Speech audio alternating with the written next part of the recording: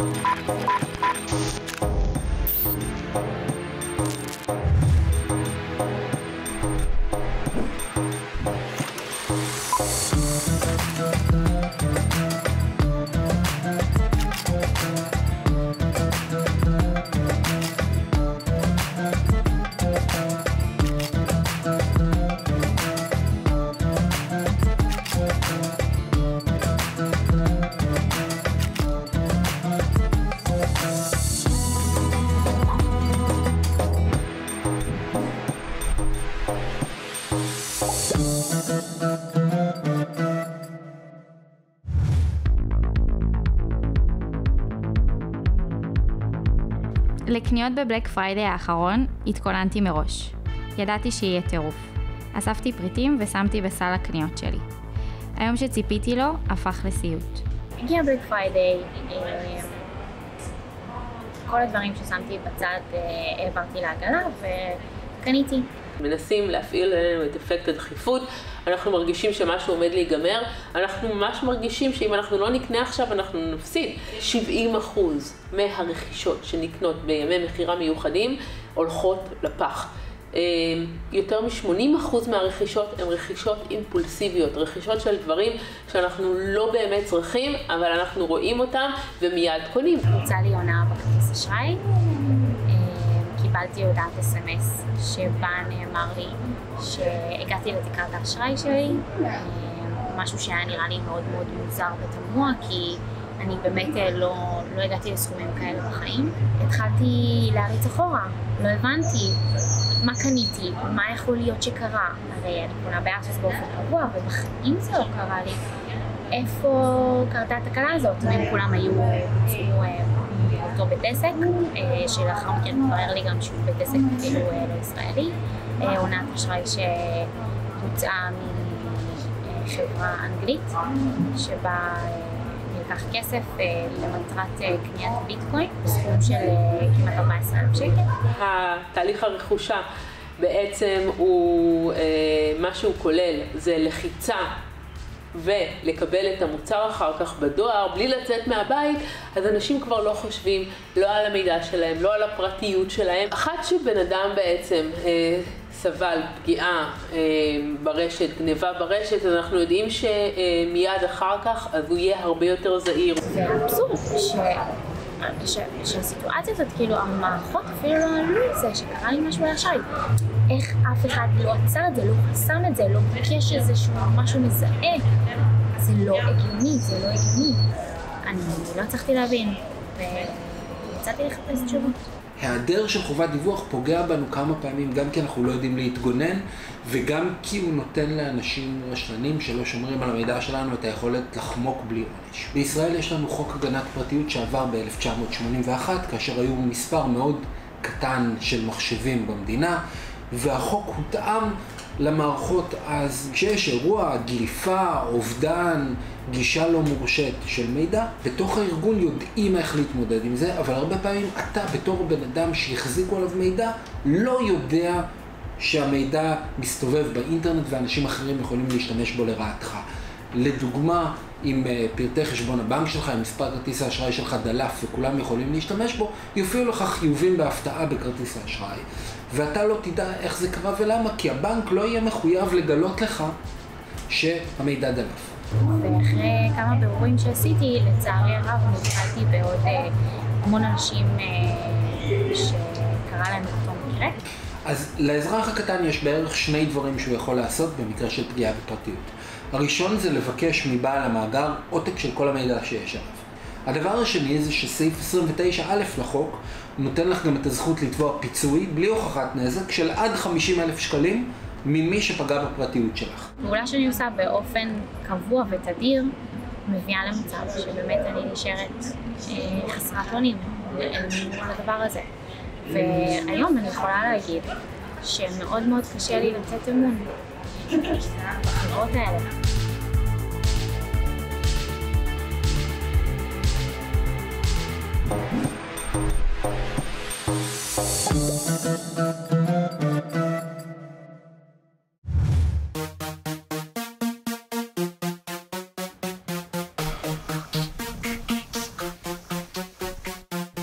שופינג, שופינג, שופינג. מי לא אוהב שופינג? הכניסה של קניות האונליין לחיינו מציבה בפני הקניונים אתגר. איך לגרום לאנשים להגיע. להציע משהו שהקנייה באינטרנט לא יכולה להציע. בקניונים רבים מנסים להפוך את הביקור בקניון לחוויה, ולצורך זה רוב הקניונים הגדולים יצרו אפליקציה. יצאנו לבדוק את אפליקציית קניון TLV, שמזמינה לחוויית שופינג שעוד לא הייתה.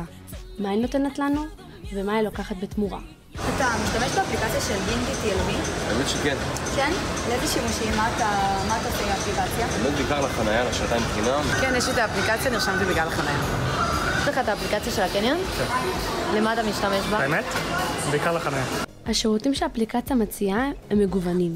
בין היתר, צבירת נקודות, מעקב אחרי היסטוריות תשלומים, מבצעים והטבות, שירותי חניה, שירותי סטיילינג והתמצאות ברחבי הקניון. הרשו לנו לידע אתכם כי בתנאי השימוש שאתם מאשרים בעת ההרשמה לאפליקציה, אתם מאפשרים גישה למידע אישי רב. איסוף מידע והעברה לצד שלישי. שימוש במידע לצורך צרכים שיווקיים. איסוף מידע אישי מהנייד. איסוף נתוני מיקום. הצניית ההטבות במתן פרטי אשראי. שזה מה שקורה? לא, לא אמרו לי את זה לפני ולא ידעתי. וואי, זה כבר ממש יותר מדי חדירה לפרטיות. האמת שזה לא מפריע לי, אני כנראה אמשיך להשתמש באפליקציה. שומעת? זה העמוד שלי, אני לא עושה את זה. וואו, לא ידעתי שהאפליקציה יכולה להגיע לפייסבוק, אני לא יודע אם הייתי מוריד אותה אם ככה. זה ללא ספק עושה קצת... לא הכי בא לעשות את זה פתאום. היום יש לנו אה, בעיה שהיא בעיה אה, חמורה שאנחנו לא מתייחסים אליה מספיק ברצינות וזאת בעיית הפרטיות ברשת. מה שאנשים לא מבינים מספיק טוב, לצערי, זה שכל צעד מנוטר בסביבה הדיגיטלית. כל ההתנהגות הדיגיטלית שלו מנוטרת לחלוטין מהרגע שהוא נכנס עד הרגע שהוא יצא. אפילו, אני אגיד לכם יותר מזה, אפילו המנח שבו מחזיקים את הנייד מנוטר כדי לקבוע, אה, כדי לקבוע ולהבין מי הבן אדם שעומד מולנו. במסגרת שימושך באפליקציה ייאסף עליך מידע כגון שם, תעודת זהות, מספר רכב, פרטי כרטיס אשראי וכל מידע שימושי באפליקציה כולל מיקום.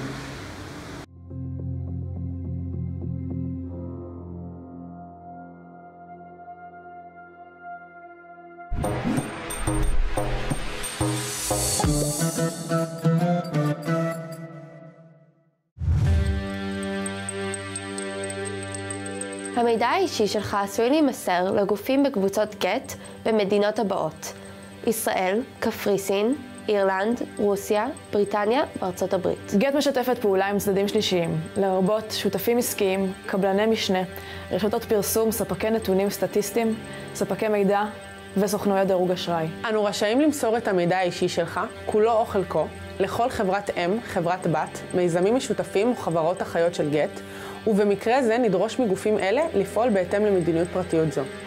עשרות אלפי אנשים משתמשים כיום באפליקציית גט טקסי בישראל.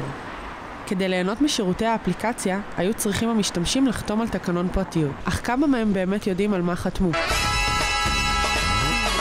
יכול לקחת אותנו בבקשה לעזריאלי? יש לך גט טקסי? אתה משתמש באפליקציה? כן, ככה הזמנתי את המונית לפה. יצא לך אה, לקרוא את התקנון כשאישרת את השימוש באפליקציה? לא, בדרך כלל אני יושבת לקרוא 12 שעות תקנון של אפליקציה, אבל הפעם אמרתי, טוב, אני בין... אה, קצת ממהרת להזמין מונית. אז אני הולכת עכשיו לשאול אותך כמה שאלות על האפליקציה של גט טקסי, שיעזרו לך לדעת קצת יותר. אוקיי. יאללה, נתחיל. נתחיל. לאיזה מדינה גט טקסי יכולה למסור את המידע שלך? א', בריטניה, ב', אסטוניה, ג', ברזיל, ד', יוון. יוון. איזה מידע גט טקסי אוספת מתוך המכשיר הסלולרי שלך? א', כתובת IP, ב', רזולוציית המסך, ג', פרטי הווי-פיי שלך, או ד', כל התשובות נכונות. בטח ד'. תשובה נכונה. האפליקציה של גט טקסי אוספת עליכם את כל המידע שזמין בטלפון שלכם. עורך דין יונתן קלינגר, המתמחה בענייני פרטיות וזכויות דיגיטליות, צייץ בעבר אודות החרמת האפליקציה של גט טקסי בעקבות התוכן של תקנון הפרטיות. התקנון הוא לא נעים והוא לא ידידותי והוא הרבה יותר מדי אה, חודרני לשירות שכל מה שהוא צריך לעשות זה לספק לך נסיעה מנקודה א' לנקודה ב'. למה להילחם בעד הפרטיות היא שאלה מאוד חשובה היום, קודם כל כי הפרטיות שלנו היא ערך כלכלי. לכל אחד מאיתנו יש מידע ששווה הרבה מאוד כסף. למי גט טקסי מעבירה את המידע שלך? א', חברות שיווק ונותני חסות, ב', משטרה ובתי משפט, ג', יועצים וחוקרי שוק, ד', תשובות א' וג' נכונות. א' וג'. כל הכבוד! מה את חושבת על זה? אה, אני מוחקת את האפליקציה בגדול. מתניידת באופניים, ייתנו לו. זה כלי ממשלתי בצורה כזו או אחרת. הנה, בריטניה, רוסיה, כאילו. כן. זה דרך כזאת. לאסוף עלינו מידע שאנחנו כאילו, אה, מה, הסכמת לזה, כאילו, איך את יכולה להתלונן? אנא ציין את מספר הנייד ממנו בוצעה הזמנתך. כמשתמשות האפליקציה, פנינו לשירות הלקוחות של גט, אך נתקלנו במענה רובוטי בלבד. בהמשך לניסיונות ליצור קשר עם החברה, טרם נתקבלה תגובתה בנושא. אנו כמובן נמשיך לנסות, אך עד אז, מעייף ככל שיהיה, תשתדלו לקרוא תקנונים ולשמור על הפרטיות שלכם.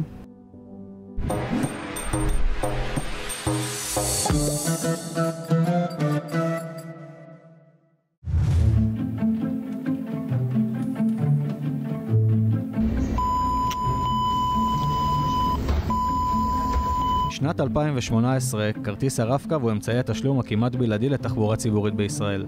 כשלושה מיליארד שקלים בשלוש מיליון נסיעות ליום הוציא הציבור בשנת 2018 על נסיעה בתחבורה ציבורית. לשימוש בכרטיס חכם יש הרבה יתרונות, אבל יש גם חיסרון.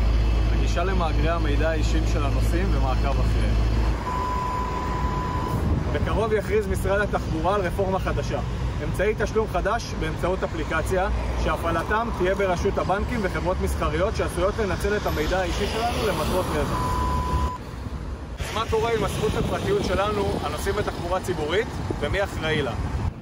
אולי אה, שר התחבורה, לא יודעת. שר התחבורה? אני מתארת לעצמי שזה משהו ממשלתי, כי כאילו מחייבים אותנו לעשות את זה. היינו רוצים שאפליקציה כמו רב-קו אונליין, שמחזיקה במידע האישי שלנו הנוסעים, תהיה בפיקוח משרד התחבורה, אך גילינו שלא. פיסנטרה, חברה פרטית, היא זו שמנהלת ומפעילה את הרב-קו אונליין ומחזיקה במידע האישי שלנו. במדיניות הפרטיות שלה שאנו מאשרים כדי ליהנות מהטבות והנחות, מצהירה החברה כי היא רשאית להעביר את המידע האישי שלנו לצד שלישי על פי שיקול דעתה. הטכנולוגיה הנהדרת הזאת, לא בציניות, באמת טכנולוגיה נהדרת, אה, גורמת לי לחשוף עליי הרבה מאוד מידע שאנשים אה, מספיק חכמים עם, או עם אמצעים מספיק מתוחכמים של ניתוח של המידע הזה, אם הם מסתכלים עליו מבחוץ, יכולים ללמוד עליי הרבה מאוד דברים שאני לא רוצה שידעו עליי. מאז שהתחיל הרב-קו, הבנתי שיש שם כל מיני בעיות. אה, למשל, העובדה שמעודדים אותנו להשתמש בכרטיס מזוהה ולא בכרטיס אנונימי. למשל, העובדה שהרבה מאוד מידע נאגר והוא מסתובב בין הרבה חברות, אנחנו לא יודעים איפה הוא, מה קורה איתו, לאן הוא הולך, כמה זמן הוא נשמר. הטכנולוגיה רצה קדימה, אבל החקיקה והאכיפה מפגרות מאחור. חוק הגנת הפרטיות משנת 1981 נחקק הרבה לפני המהפכה הטכנולוגית והכרטיס החכם, ואין בו מספיק הגנות על הפרטיות. בדקנו מה רשויות השלטון עושות בנושא. משרדי הממשלה והכנסת עסקו בנושא בשנים האחרונות. פרסמו תקנות, המלצות והנחיות. היו גם דיונים בוועדות ובמליאת הכנסת, הצעת חוק ואפילו הצבעה שעברה בקריאה ראשונה ונמצאת בהכנה לקריאה שנייה ושלישית. אבל חוק אין, ובינתיים גם לא הגנה טובה על המידע האישי שלנו. שאלנו נוסעים האם היו מוכנים לוותר על ההנחה כדי לא להסתכן בחשיפת המידע האישי שלהם.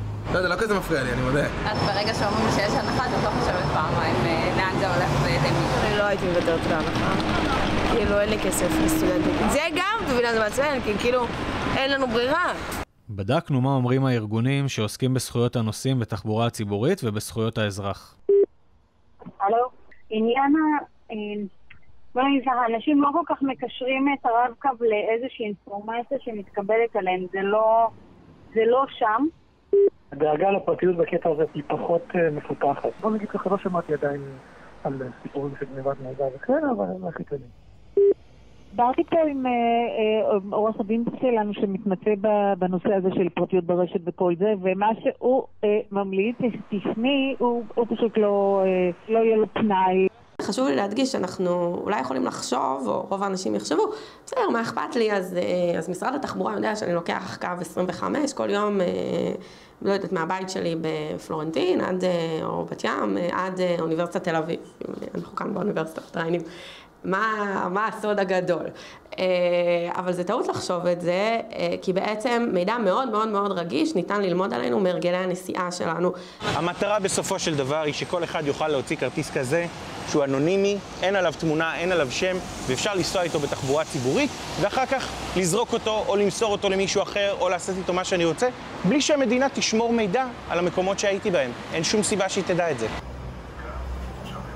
בין אם תבחרו בהנחה וויתור על הפרטיות, או תבחרו בכרטיס אנונימי, ורגע לפני שמשרד התחבורה מפקיד או מפקיר את המידע האישי שלנו ברשות הבנקים וחברות מסחריות, חשוב שתדעו שהחוק הקיים לא מספיק שומר ומגן עלינו. אז עד שזה ישתנה, האחריות היא כנראה עלינו.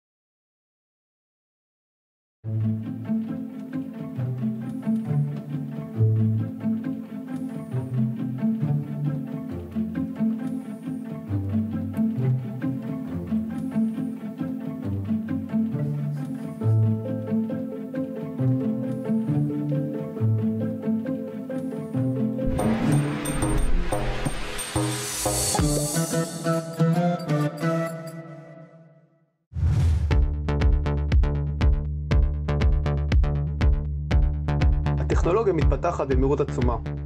דברים שנראו עד לא מזמן מדע בדיוני, הפכו חלק משגרת חיינו. כמעט בכל רגע נתון אנחנו מייצרים וצורכים, קונים או מוכרים מידע ושירותים במרחב הדיגיטלי, באינטרנט, ביוטיוב, בוואטסאפ ובאינסטגרם. והחברות האלה עוקבות אחרי כל צעד שלנו, אוספות אותו, שומרות אותו ומשתמשות בו, לטובתן, לטובתנו וגם על חשבוננו. איך זה קורה, מי עומד מאחורי זה ולמה חשוב שנדע. אלגוריתמים של בינה מלאכותית משמשים אה, כיום לקבלת החלטות באופן אוטומטי וממוחשב.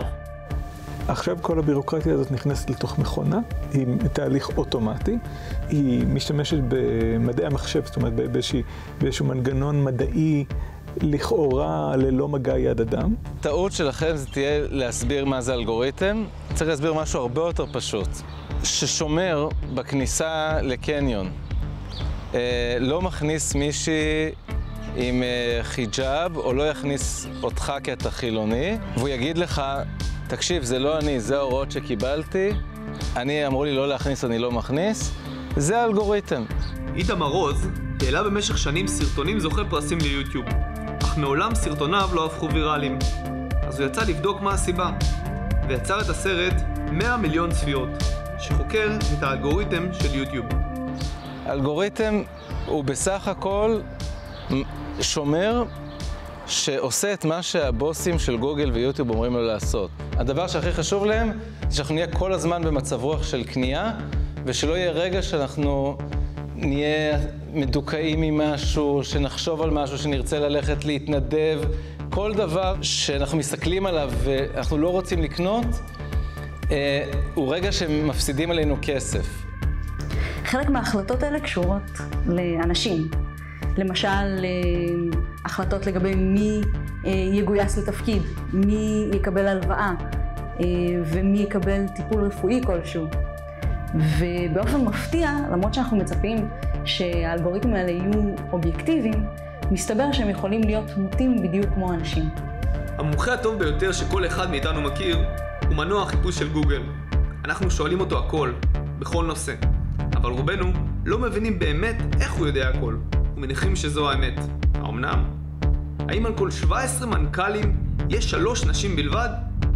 דוגמה אחת לאפליה אלגוריתמית היא באפליקציות של תרגום. למשל, אם ניכנס ל Google Translate ונכתוב משפט פשוט, I am working as a doctor. התרגום יהיה, אני עובד כרופא. בנוסף נכתוב משפט נוסף, I am working as a nurse. נקבל תרגום, אני עובדת כאחות. כלומר, מה שקרה כאן זה ש Google Translate אה, זיהה דוקטור כרופא גבר ו nurse כאחות אישה.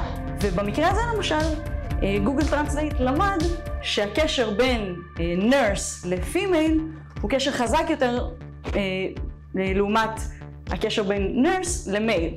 אז כן, בוודאי זו אפליה. למשל, באפליקציות שממליצות על משרות דרושים למועמדים, הן יכולות להמליץ לגברים על משרות בכירות יותר, אה, או טכניות, או משרות טכניות יותר, לעומת נשים. מושון זרביב, מעצב, מרצה ואקטיביסט מדיה, פועל נגד האפליה המובנית במרחב הדיגיטלי.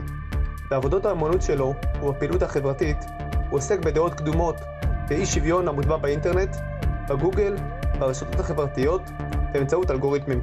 אלגוריתם זה, זה בסך הכל דעה של, מי, של מישהו שמובעת במתמטיקה, אז האפליה הזאת הופכת להיות יותר רחוקה מאיתנו, פחות פוליטית, זאת אומרת, פחות במרחב שבו אנחנו יכולים אה, לשאול שאלות על הכוח, וזה מה שהופך את, את האפליה האלגוריתמית לאולי אפילו דרגה אחת יותר מורכבת של אה, איך מתמודדים עם, אותו, עם אותה אפליה. אז גם אם אתם לא מרגישים זאת, לאלגוריתמים יש השפעה על חיי היומיום של כולנו. אין חולק על כך שהטכנולוגיה תורמת לאנושות, אבל בלי חקיקה ואכיפה אנחנו חשופים לאפליה, לאי שוויון ולניצול לרעה.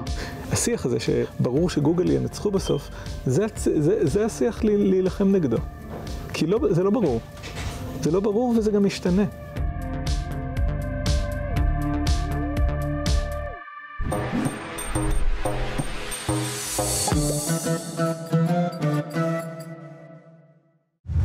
משבר הקורונה היווה הזדמנות לבחון מקרוב את שיתוף הפעולה החיובי בין ישראל לרשות הפלסטינית סביב סוגיות אזרחיות, כמו שימור הסגר, מתן היתר עבודה לפועלים והעברת ציוד רפואי, ולהביאן לסדר היום התקשורתי. אך האם התקשורת הישראלית עשתה זאת? הרשות הפלסטינית, למרות שהיא מקבלת סיוע מישראל בצל אה, משבר הקורונה, מה שאנחנו רואים זה מסע של הסתה פרועה. אותו קמפיין חריף נגד ישראל, ישראל מזהמת את הרחוב הפלסטיני, עד כדי כך, זו הטרמינולוגיה. מי שעקב אחרי שיח הפרשנים ברשתות החברתיות ובתקשורת הישראלית במהלך המשבר, ודאי נחשף לטענה כי למרות שיתוף הפעולה הטוב, פוליטיקאים והתקשורת ברשות הפלסטינית פועלים על מנת להצניע אותו ואף להסית נגד ישראל. אך נראה שגם בצד הישראלי בוחרים להצניע את שיתוף הפעולה. נדמה כי הייצוג של שיתוף הפעולה עצמו והמגעים הדיפלומטיים היה דל יחסית, ומעבר למספר כתבות על עובדים פלסטינים, התעסקו בעיקר בהסתה הפלסטינית. בנו הפלסטינים תילי טילים של עלילות שווא. מה שהדנاه من بعض الجنود يحاول نشر الفيروسات انما ينم عن تربيه عنصريه وحاقده من اشخاص يتمنون الموت للاخر. When Shteye said the big problem is occupation, he's correct because occupation controls our lives. Yes, there were some humanitarian uh, things, and yes, emergency brought out some good things on both sides, but this is a small problem. The big problem is the occupation. Look up the Israeli media. How many times do they talk about the Palestinians and occupation? Never. It's not in the not in the agenda. They talk about everything except the big elephant in the room. בתקשורת הישראלית דיברו על הפער בין הפוליטיקה הפלסטינית לשיתוף הפעולה בפועל. אך מה לגבי הניגודיות והפער בין שיתוף הפעולה בשטח לפוליטיקה הישראלית, המציבה חסמים בפניו? כך בדיוק הניגודיות משתקפת בהסכם הקואליציוני האחרון שנחתם בין כחול לבן לליכוד. סעיף 28 גורס כי ראש הממשלה וראש הממשלה החלופי יפעלו כדי לקדם הסכמי שלום עם כל שכנותינו ולקדם שיתוף פעולה אזורי במגוון תחומים כלכליים ובעניין משבר הקורונה.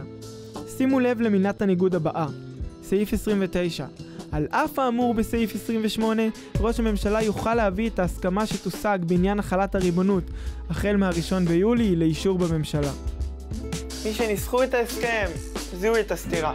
מה עם התקשורת הישראלית? דוגמה נוספת לאופן בו מוצנע שיתוף הפעולה גם בצד הישראלי, היא החלטה על העברה של 800 מיליון שקלים לידי הרשות הפלסטינית. ישראל הודיעה על כך שהיא מוכנה להעביר את התקציב הזה באמת לרשות הפלסטינית אה, על מנת שיהיה אורך נשימה כלכלי אה, אה, ברשות והמשבר לא יקריס את הרשות מהבחינה הזו, התקציבית. גם בתקופה זו של משבר עולמי, נדמה כי העברת כספים וסיוע כלכלי הופכים מילה גסה. שר האוצר דאז, משה כחלון, שאמר כי מצב הקורונה בגדה מדאיג את כולנו והאינטרס שלנו לסייע לרשות במציאות מורכבת זו, זכה במעריב לכותרת פחות מחמיאה. על פיה הוא נכנע ללחץ. גם נפתלי בנט לדוגמה, שר הביטחון באותו זמן, הסתפק בהתייחסות רפה לנושא. אין כאן שקל שלנו, מדובר רק על עניין של עיתוי.